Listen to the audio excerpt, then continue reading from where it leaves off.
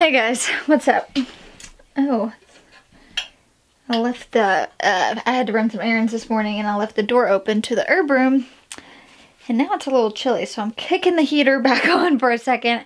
I'm actually moving my starts out into the greenhouse today. Um, I've been needing to do this, but there was a huge thing that um, really helped push me to do this, if you will. I'm gonna sit down before I tell you guys this story. So I first want to take a second to tell you guys, um, there may be things you do that don't work out, right? When you're gardening and you're farming, there are things that we have no control over.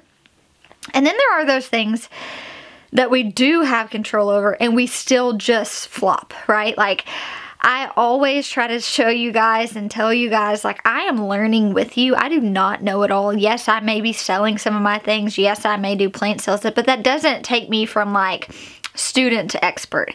It takes me from student to more experienced student, right? Like I'm always learning. So I started all of my seedlings. Things are looking great. They're doing great, right? And then something has come along that could easily derail me, but I had absolutely no control over this, right? Like there's nothing I could have done that would have prevented this from happening.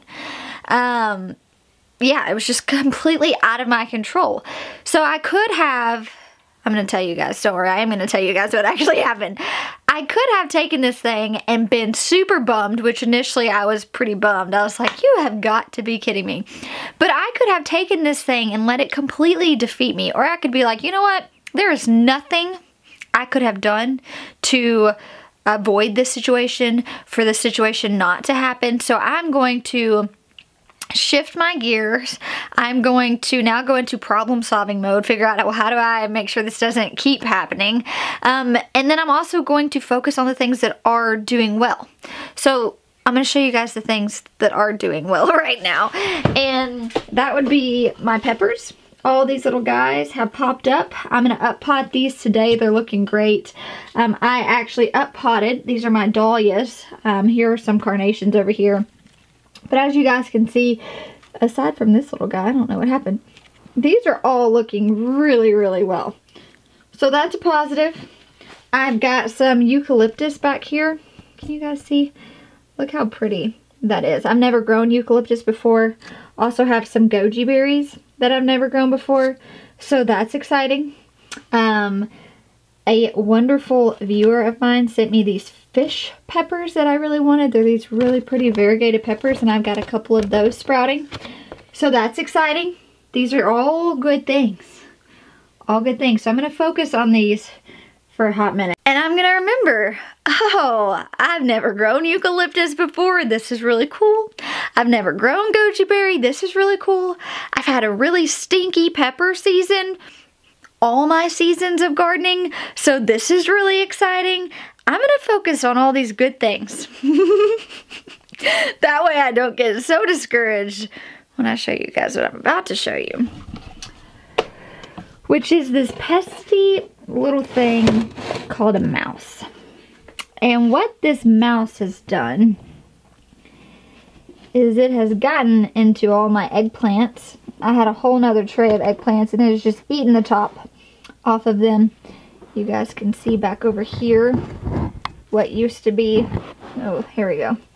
What used to be an eggplant is now an eaten off eggplant. Um, it just went through and munched off a lot of those you guys can see right there. It came down here and completely just dug up. it wasn't a really smart mouse because you can see it left the evidence. You see the sunflowers over here? and it's went through just sporadically and dug up all these random seedlings. It got a bunch of seedlings back here, knocked down a plant marker. Just so disheartening. Like, a stinking mouse ate my seedlings.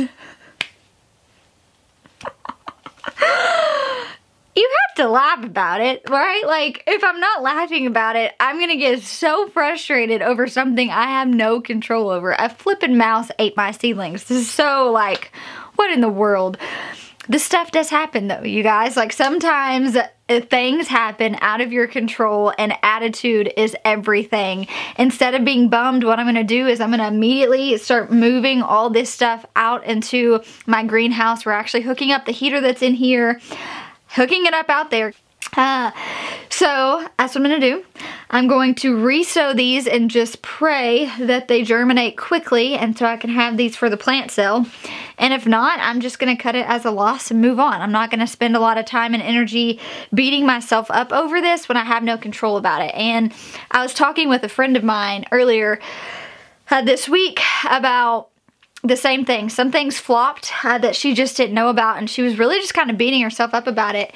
And I encouraged her and I'm going to encourage you guys and also just kind of encourage myself in this. This is all a learning experience. We're growing through all of this. Every mistake that we make is a lesson that we don't have to make the following year.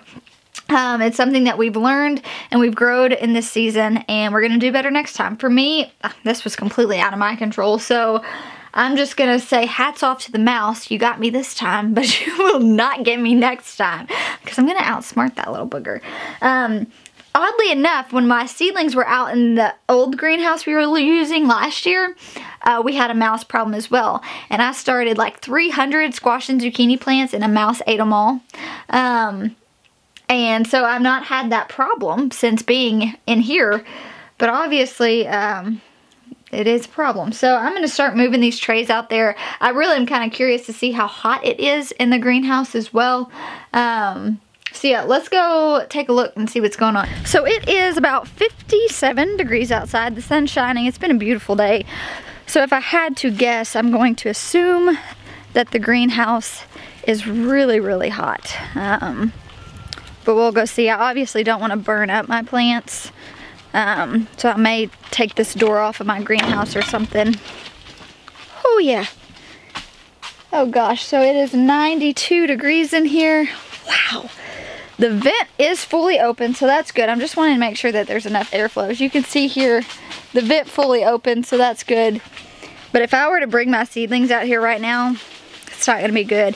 So I'm not gonna do that. I'm probably gonna wait until this afternoon. And then I will have to just keep this door propped open to let that airflow come through a lot better.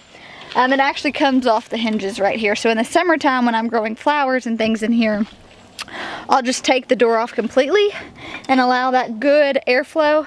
Um, but yeah, man, I'm gonna leave this thing propped open for a minute. It's really hot. So I went to Jessica's house today to work on some stuff.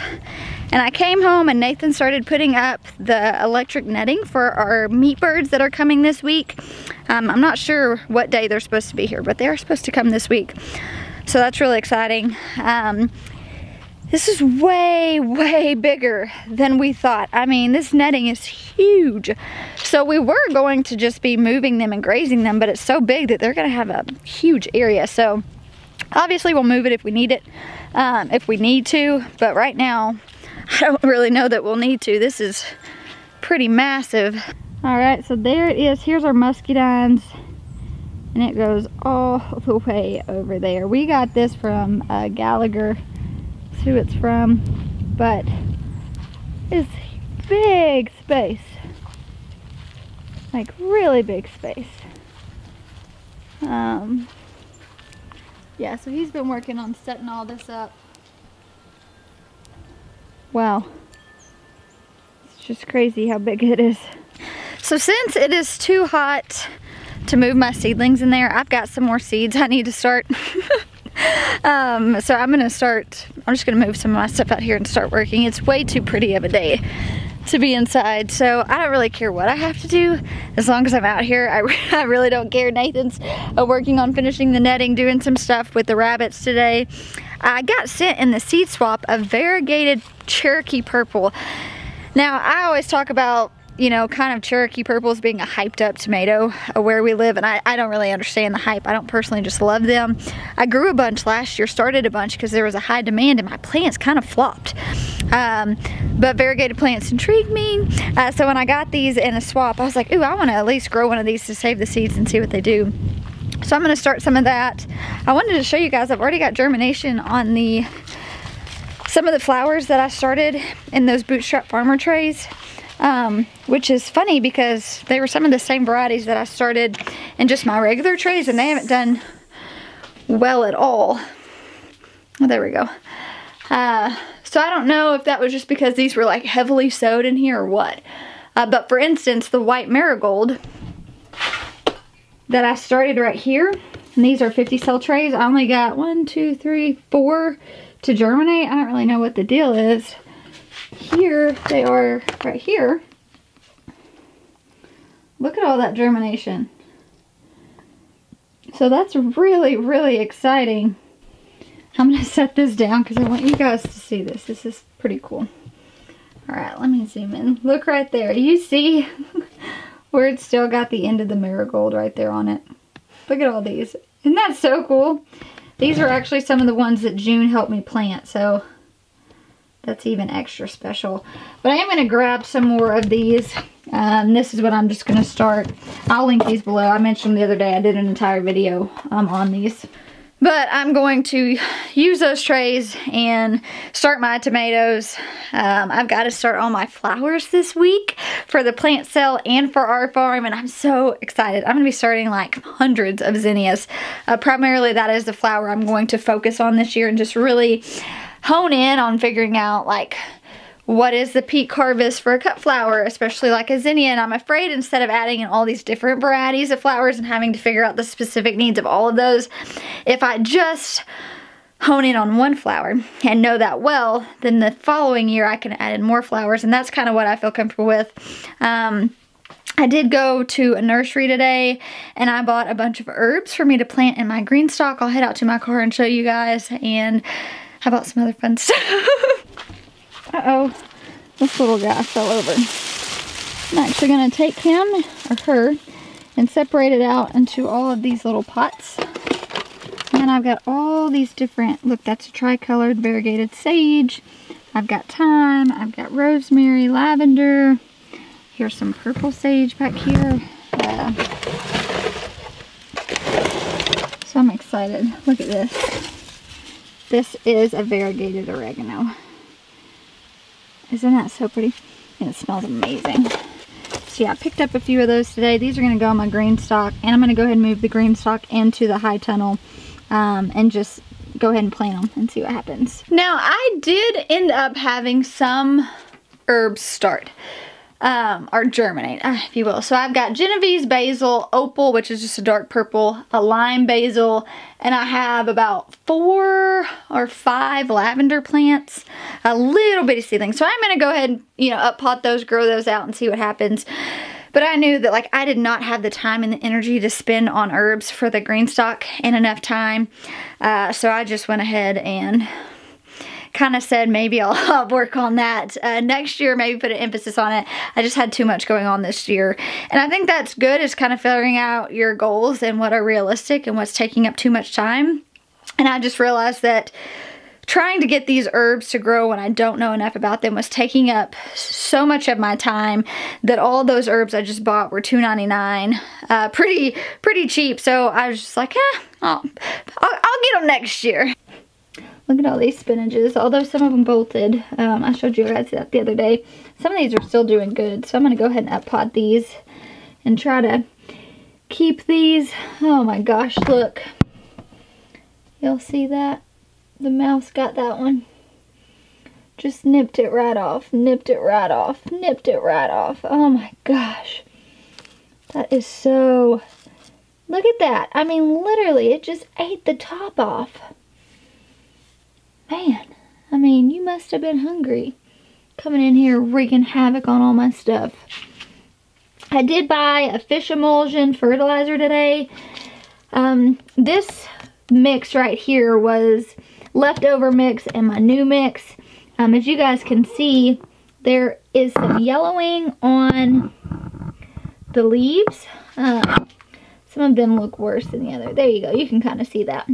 Yellowing uh, on your seedlings is a sign of a nitrogen deficiency. Now, that could have been because it was a mix of two different soils and they just didn't mix well together. Um, it could be because I overwater them out of uh, fear that I'm going to forget and they're going to dry up and die. Uh, so there's probably a combination of a lot of things there, but it's actually a pretty easy, quick fix. If you see that on your seedlings, don't throw them out. I remember the first time I saw a deficiency and I first started seeds, I thought I just ruined them all, so I just threw them away. Um, I found out now that's definitely not the case. You can fix them uh, pretty easily. So I bought some fish emulsion um, and I'll go through and, you know, go ahead and up pot those and give them all a boost um, with that fertilizer. But yeah, these def definitely need to go ahead and be moved out. A lot of you guys have been commenting, why don't you just move your trays closer to the light? Wouldn't that make sense? It would. Yeah, it would definitely make sense. Um, I wasn't planning on them being in here. I was planning on them being out in, you know, the greenhouse, but we had all that snow. It was still, the temperature was getting down really low and I didn't even know with bringing in this heater if it would heat that space up enough.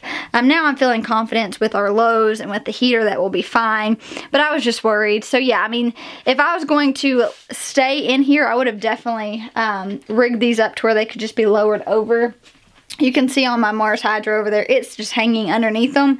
And I've just been raising it up as the plants are growing. And that is definitely ideal. Um, this was just kind of a temporary thing for me. So I was like, oh, I'm not going to be in there long enough for it to matter. Obviously, as you can see, some of them are getting a little stretchy, a little leggy. Uh, so I'm just going to up pot them up, and I, I think they're probably going to be fine. Alright guys, I know this was a short vlog today, but I've got to get busy playing damage control and make sure that I've got everything hooked up in the greenhouse. That way these seedlings don't spend another night out here. That way they're not falling victim to another mouse.